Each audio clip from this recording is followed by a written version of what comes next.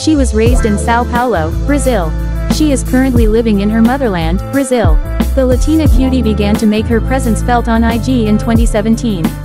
She has attracted 298,000 on the photo sharing platform.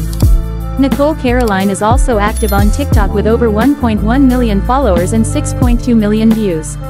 On August 2020, the Brazilian cutie told on IG, I must confess that I'm little crazy and different indeed. I'm the girl who welcomes the boys she likes in leopard print pants, in pajamas, without makeup, with hair that's not always so good, with skin that's not always perfect, without a lot of information.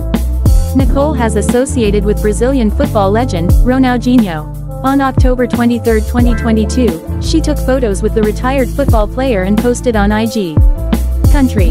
Brazil. Don't forget to follow it on Instagram, and don't forget to like, comment, and subscribe. Thank you.